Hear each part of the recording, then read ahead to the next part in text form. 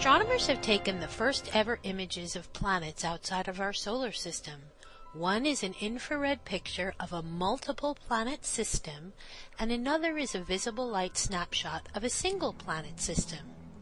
Until now, scientists have had to infer the presence of planets around other stars by detecting the unseen world's gravitational pull on the star, or by waiting for the planet to cross in front of its star and then detect a dip in the star's light. These techniques have to date identified more than 300 extrasolar planets, but until now, astronomers have struggled to actually directly photograph such inferred planets. The new planetary systems were found around young bright stars much more massive than our own sun and amidst large disks of dust, the raw material of worlds. The four photographed exoplanets are discussed in two research papers published online by the journal Science.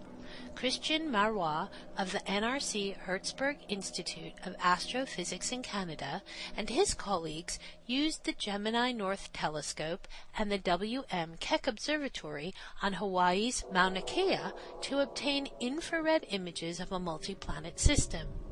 Infrared radiation represents heat and along with radio waves, visible light, and X-rays is part of the electromagnetic spectrum. This new trio of worlds orbits a star named HR 8799, which is about 130 light years away from Earth and located in the constellation Pegasus. The star is about one and a half times as massive as our Sun. The planet closest to HR 8799 is 10 times the mass of Jupiter, followed by another almost as large and, farther out, a world seven times that of Jupiter, our solar system's largest planet. The planets reside at roughly 25, 40, and 70 astronomical units away from its star. 1 AU, astronomical unit, is the average distance between the Earth and the Sun. By comparison, our solar system's most distant planet, Neptune, has an average distance of 30 AU. These planets are considered by astronomers to be very young, only about 60 million years old.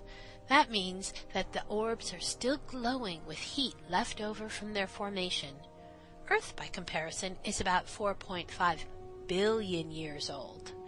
The most distant planet in this multi-planet system orbits just inside a disk of dusty debris, similar to our solar system's Kuiper belt, remnants of the formation of our solar system which lie just beyond the orbit of Neptune.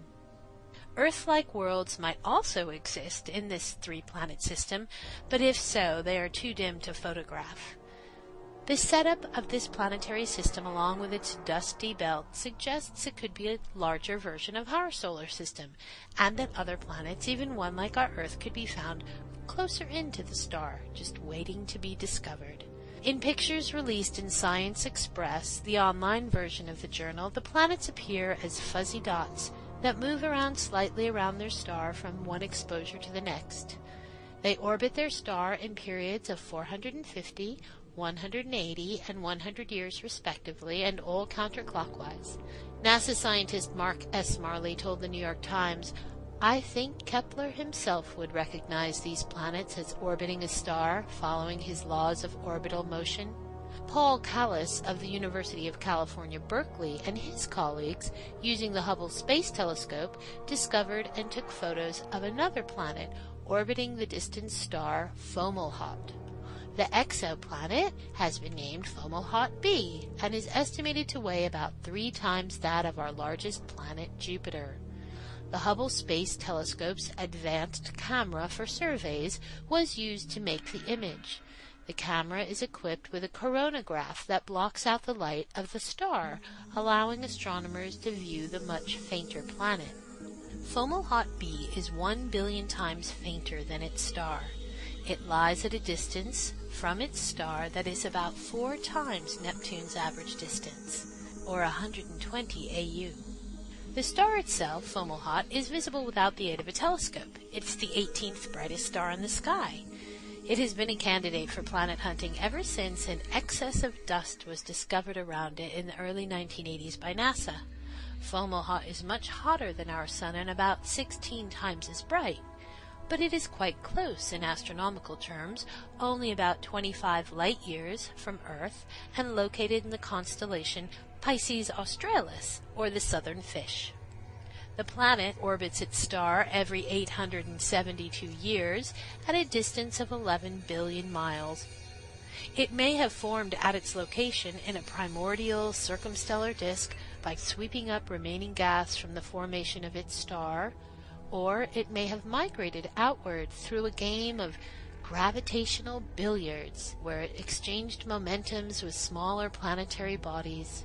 Scientists believe that the planets Uranus and Neptune in our solar system migrated out to their distant orbits after forming a little closer to the Sun and then interacting gravitationally with smaller bodies. Earlier Hubble images of the star and its system revealed the dusty belt that had a sharp inner edge around the star. This suggested to the scientists that there was a planet shaping the belt's inner edge.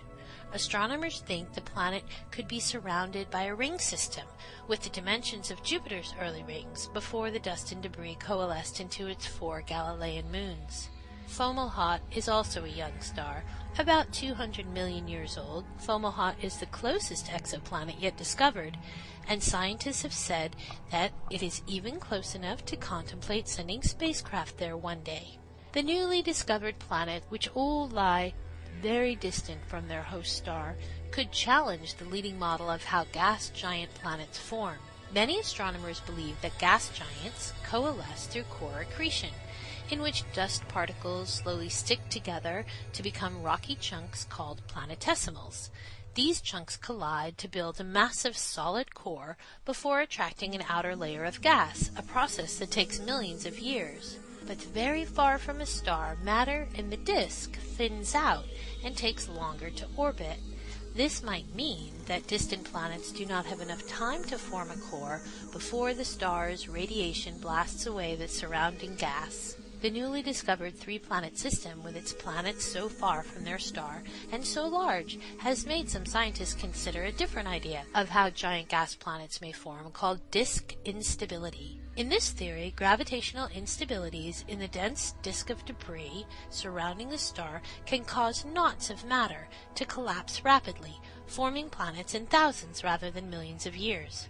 Both of the new planetary systems revealing their dusty disks and large planets appear to be larger versions of our own solar system, with giant planets in the outer reaches, leaving plenty of room for smaller planets as yet undetected in the warmer inner regions.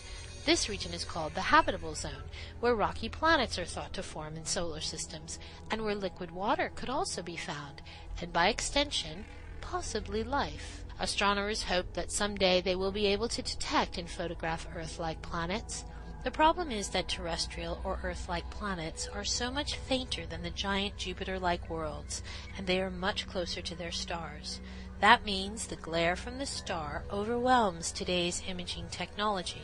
If discovered, smaller rocky planets that orbit within their star's habitable zones where temperatures would allow the existence of liquid water could be a major discovery. The new James Webb Space Telescope, due to be launched in 2013, hopes to give astronomers clearer views of the regions that Earth-like planets that could host liquid water and even life could be detected. For more podcasts on space science topics and other science topics, visit www.challenger.org. This is Rita Carl, Director of Education for Challenger